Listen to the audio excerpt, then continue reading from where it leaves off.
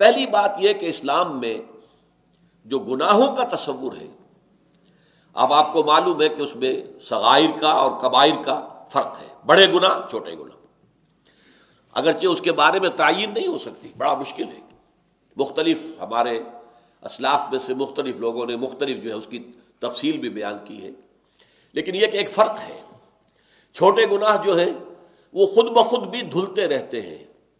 आदमी जब कोई नेक काम करता है इन हसनात युजहिबन सयात तो छोटे गुनाह जो है, वो खुद ब खुद उन नेकियों की वजह से जायल हो जाते हैं, उनके असरात धुल जाते हैं। मैं इस वक्त उस तारीफ़ में नहीं जाऊँगा कि छोटे गुनाह से मुराद क्या है बड़े गुनाह से मुराद क्या है। लेकिन जो कबाइर कहलाते हैं, वो कबाइर वो है कि बगैर तौबा के उनसे मुआफ़ी नहीं मिल सकती। ये कबाइर की तारीफ़ है।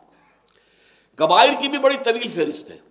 मसलन नंबर एक, जो फराइज है, उनका तर्क कबाइर शुमार होगा? नमाज़ फ़र्ज़ है, उसको छोड़ा है तो ये कबीरा गुना रोजा फ़र्ज़ है, अगर उसको तर्क किया है बगैर उज्र के तो ये भी कुछ कबीरा गुना हो जाएगा। चाहे आप बाद में कजा भी कर रहे हो, लेकिन जब आपने छोड़ा है, फ़र्ज़ तो था रमज़ान का रोजा, वो आपने छोड़ा है बगैर उज्र के तो एक कबीरा गुना है, जिसका के अंदर हकीकत बड़ा, बड़ी सजा है। इसी तरीके से हज किसी पर वाजिब है, जिसके पास इस्तात है, पैसा है, सेहत भी है, जाकर हज कर सकता है। बसूरत दीगर, पैसा देकर हज बदल करा सकता है। नहीं करता तो ये बहुत बड़ा कबीरा गुना है। जिसको सूर्य आल इमरान में जहाँ हज की फर्जियत का ज़िक्र आया है, वहाँ कुफर से ताबीर किया गया वल्ला से हिजुलबैत मन इस्ता सबीला वमन कफर।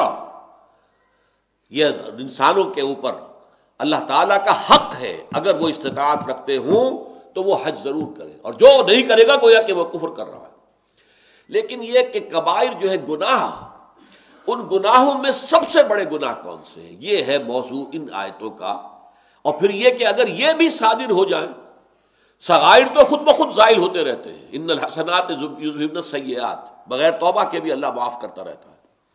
लेकिन कबायर बगैर तोबा के माफ़ नहीं होते। तो कबायर के असरात से बचने का रास्ता तोबा है।